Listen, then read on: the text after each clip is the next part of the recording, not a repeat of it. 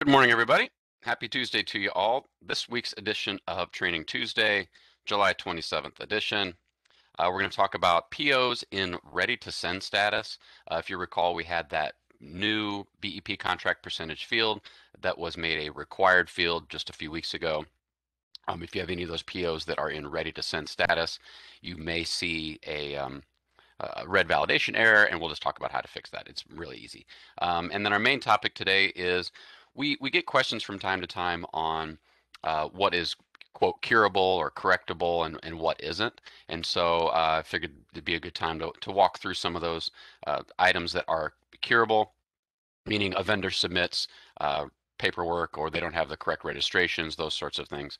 What can be cured, what cannot be cured. Um, we'll, we'll, we'll, we'll dive into that in just a second. Um, and then fun fact of the day and quote of the day. So first up, if uh, this is a slide that's been up um, on a couple of trainings in the past, but just to kind of set the table and put it into context for you guys, uh, that BEP contract percentage is a custom column field that was added uh, back in May. Um, at the beginning of this fiscal year, just a few weeks ago, became a required field, so it has an asterisk next to it. Um, this is separate from the BEP goal percentage field, again, which is brought over from the bid stage. I just left this up. Um, we, we talked about a little bit more. Um, you can go back and take a look at the, the May 18th uh, training if you have any specific questions.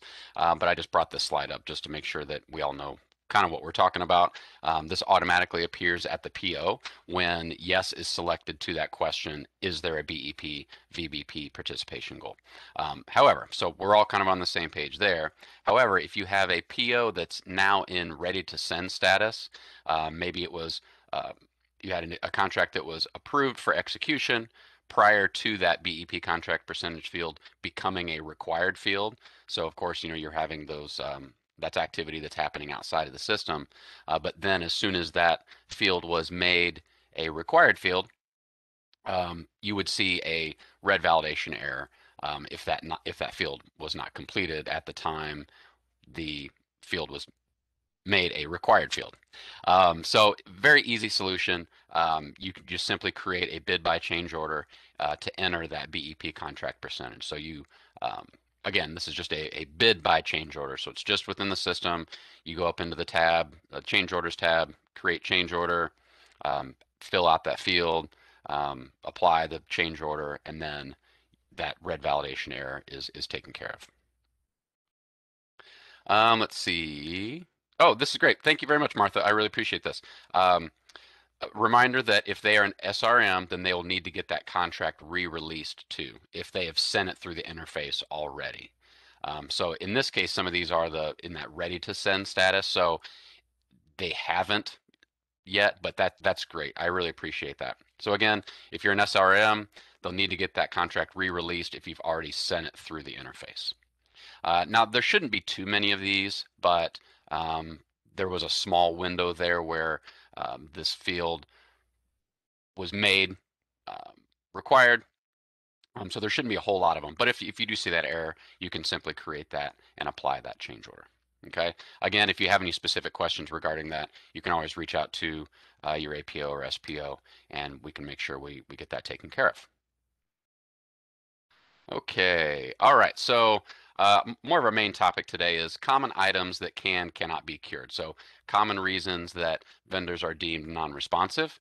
And um, of course, we're not talking about the uh, 80s band The Cure, or we're also not talking about uh, cured meats. Um, my lame attempt at humor on a Tuesday morning. So, you know, questions like, can this be cured? Can this be corrected? Can the vendor submit this later? These are, we're, we're talking about the same sorts of things, uh, just different words for the same thing. So the example is a vendor submits a quote, um, but doesn't have the, uh, doesn't attach the required paperwork, the required forms, or doesn't have the required registrations. Can it be corrected? So let's kind of unpack this a little bit. And before we get started, um, for our conversations today, this is specifically for IFBs and RFPs. Um, on small purchases, there's a lot more flexibility because in the procurement code, many of the, these things, it, it talks about bids and offers. And so I just want to take a quick note to, you know, we're set aside, we're we're setting aside, pun intended, I guess, for our small business set aside program. Uh, we're setting aside the conversation regarding small purchases uh, because those don't apply for what we're talking about today. So we're talking about bids and offers um, and what can and cannot be cured. Um, so these are just going to be the very common things. Also, if you have any specific questions, there will be a lot of different situations that I'm not going to be able to get into today. You'll need to talk to your SPO regarding that. Um, but we're just going to hit get some of the the heavy hitters and some of the low hanging fruit here that we can point directly to code or rule that specifically calls out that they cannot be cured. So first up is the Board of Elections registration. So the vendor must be registered at the time of bid opening. And so the, I also put in some links here. So the slides, uh, you can go directly to the link at the code. Um, also in rule here, I also just kind of copied and pasted regarding bids and proposals. In order to be considered for award, a vendor who meets the requirements for registration must be registered with the State Board of Elections as of the date the bid or offer is due. Um, and then also, and shall provide a copy of the registration certificate or be able to produce the registration certificate on that date. Um, so that is technically in the rule. We we don't necessarily require the vendor to submit their certificate. However, if we can't find them in the system for some reason, that's why you also they have to be able to produce that certificate that was emailed to them. That doesn't come up a lot, but um, I have seen that uh, occur. So again, have to be registered at the time of bid opening. If a vendor is not registered by the date the bid or offer is due, the SPO shall reject the bid or offer as non-responsive. So pretty clear cut, uh, but we do get that question quite a bit. So that cannot be cured. Um, also, what else cannot be cured? Uh, not submitting Forms A, Forms B, financial disclosures. Um, if a vendor, so they, they have to submit that as a part of their uh, quote in BidBuy for IFBs and RFPs.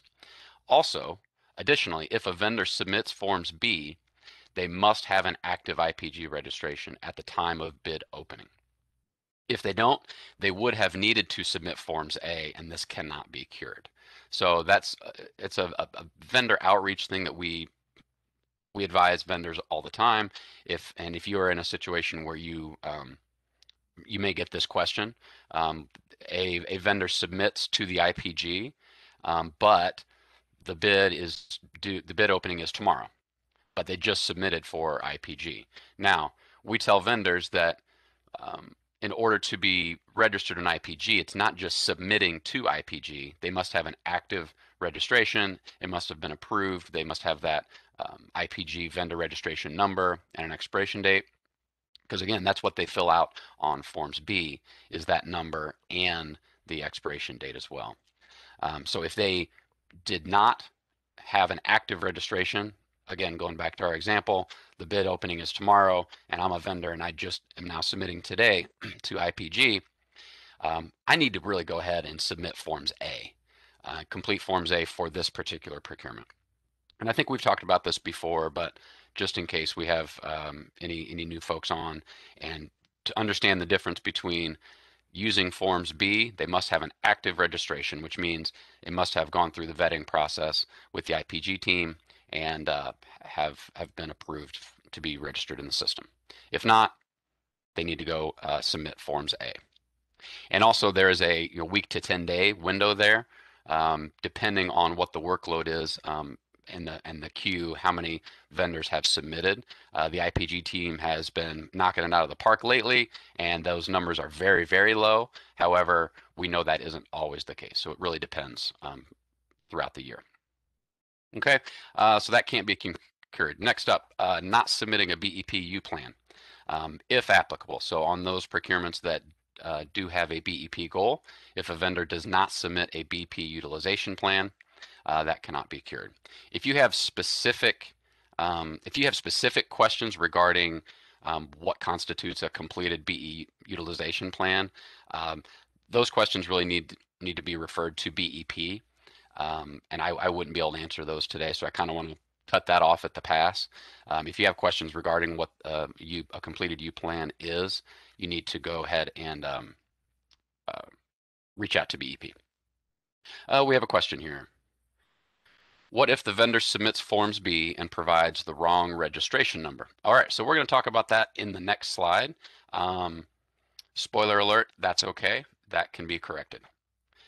Um, next up, so this isn't really applicable right now. It's just moving forward as we um, hopefully enter a, um, a, a world where the the pandemic isn't dictating so much of our lives not attending a mandatory pre-bid conference. I put this on here just because as we move forward and if things eventually go back to normal, you will have um, the possibility for mandatory pre-bid conferences. Now, of course, if a vendor didn't attend a mandatory pre-bid conference, there's no way to really cure that. Um, so that's why I put it on the list here. Now, just as a reminder, we're currently not allowing uh, mandatory pre-bid conferences. Of course, you can do optional, um, and agencies have have gotten very creative with um, being able to put out information to vendors using videos. You know, where in the past you would do uh, site walkthroughs, those sorts of things.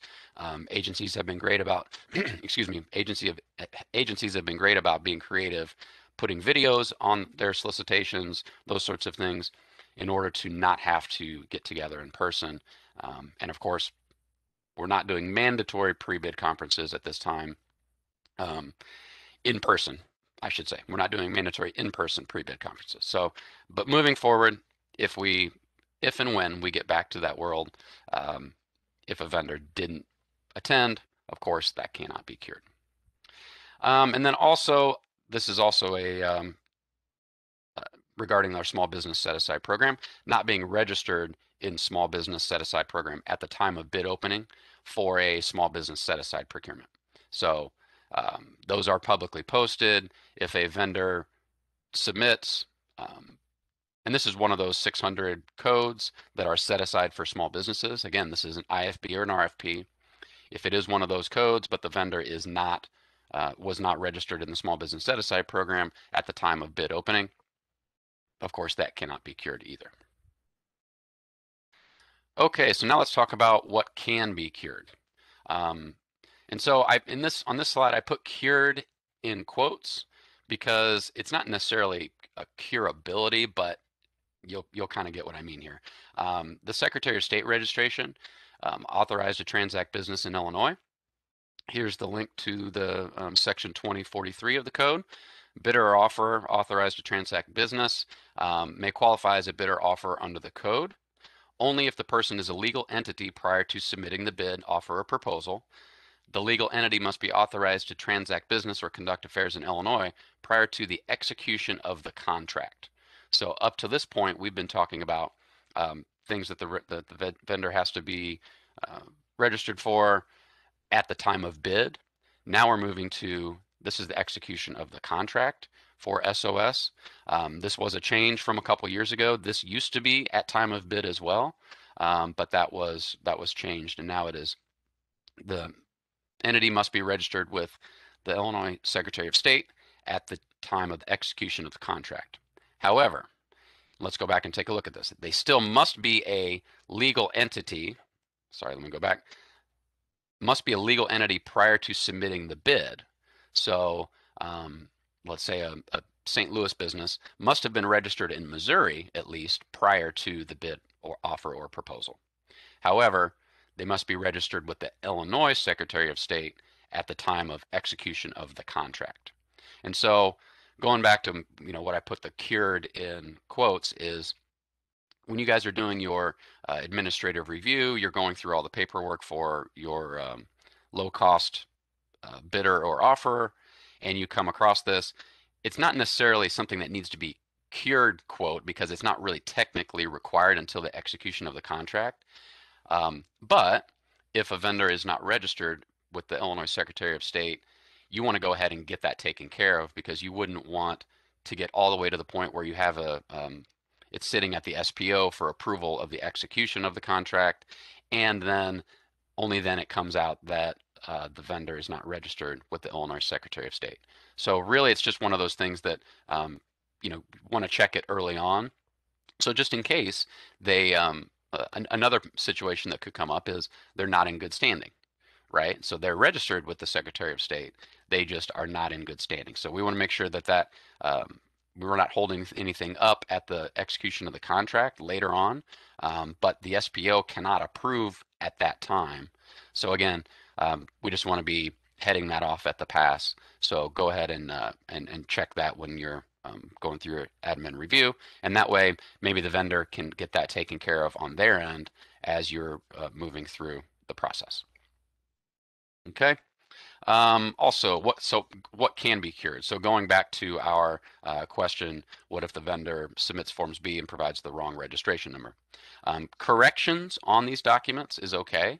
So a correction needed on a financial disclosure, or conflicts of interest, uh, clarification, or in this case, they put the wrong number on Forms B, but you can easily, you know, we can search by the name and see that yes, they were registered um, at the time of bid opening. Now, um, just to kind of do a quick little deep dive on this question, if they put the pre, the, the quote wrong IPG registration number and it was from an expired registration, but they had not renewed, now they wouldn't need to be deemed non-responsive. So there are a lot of um, almost like a maybe a bad joke, but like a choose your own adventure here. If this, then this um, situations that you can get into. But if in this case, if um, it was just a clarification or a clerical type error, uh, the wrong number was put on Forms B, but you can easily go back and um, see that they are registered, they've been registered um, in IPG. That's totally okay. Uh, we would want it corrected because you want to have the corrected forms forms B, but um, those corrections on financial disclosures, conflicts of interest documents are okay. But just as a reminder, the vendor must have submitted those documents at the time of bid opening because um, uh, as, as we spoke to earlier, at the time of bid opening, they must have uh, provided that documentation. But you can go back and, and, make those corrections. We see that quite a bit, as a matter of fact. Um, you know, maybe uh, they didn't disclose a parent entity or something like that. You can, you know, get a lot of those sort of situations. Um, also, again, uh, what can be cured? Illinois Department of Human Rights registration is needed by contract award. Okay, so um, again, I put it cured in parentheses just because at this point we've been talking about what's due at the time of bid opening. Um, and in the Human Rights Act, I put a uh, quick little link there for the De Department of Human Rights registration is required in order to be awarded a contract. So it's a little different than being at uh, bid opening. And then we're also going to have many other specific scenarios arise. Like I said, we can't get into all those on a call like this. Um, but if you do have any of those questions, please discuss with your SPO first before contacting a vendor. Um, that's important. Uh, let's see. Just to be clear, if a vendor does not submit the signed contract or offer, then that is curable. Um, you have to reach out to your SPO regarding that specific. So I, I you know, I'm not sure if that documents a a correction um, or not, depending on the contract or offer, uh, as those are two different uh, documents there. Um, but I can follow up with that for sure, and I'll I can um, add that as a, a follow up for next week maybe as well. And so, kind of a reminder here for, or a, a quick tip, I guess, in terms of these required registrations. It's easy as one, two, three, like the Jackson 5 song. So one, at time of bid opening, is Illinois Board of Elections. At time of contract award, Illinois Department of Human Rights. And at time of contract execution is the Secretary of State. Now, in a perfect world, and, and, and quite honestly, in many of these vendors' worlds, they're already registered for all three, and and they're you know they're good to go and they're okay at the time of bid opening. Um, but we do want to you know do a, a, little bit of a deep dive and remind that a couple of these registrations are not technically at bid opening. They're ones at contact contract award, ones at contract execution. However, again, with that Illinois Secretary of State, it's Illinois Secretary of State at the contract execution at the time of execution. However, they must have been a legal entity in their uh, home state in order to uh, to even submit a, a bid or offer. Okay. All right. Um, okay, so quickly, what happens when a vendor is deemed non-responsive? I know we've talked about this in the past, but just uh, it seems like an obvious next step for us. Um, you're going to complete the request for and determination of non-responsive or not responsible form. And I have the link directly to that. Um, it, it's found in our procurement resource library. And so quickly, why don't I show you real quick where this is. So in the CPOGS website, procurement resource library, and then you scroll down, it's in the uh, state purchasing officer determination forms. So there's that request for and determination of non-responsive and not responsible form. It looks like this. You, where all the green boxes are, you'll go in and just complete the information. Um, you will also have the the vendor's name, the disqualification, are the are is the agency requesting non-responsiveness or not responsible, the factual basis for disqualification. Um, it can be as some, something as simple as at this point, um, Dave's Corporation or you know vendor Dave's Corporation uh, was not registered with Board of Elections at the time of bid opening. The statute rule solicitation requirement basis for disqualification can simply be you can um, the citation that's actually in the in the slide.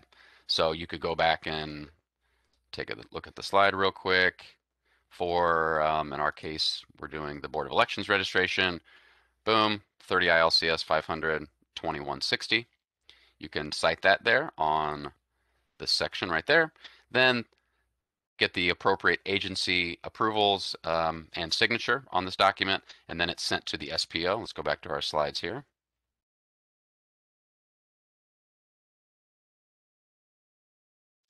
You obtain the appropriate agency signature, send to the SPO for approval or denial of the request and, and their signature. And also, this is important. We talked about this a few weeks ago. Communicate to the vendor the reason uh, for being deemed non-responsive.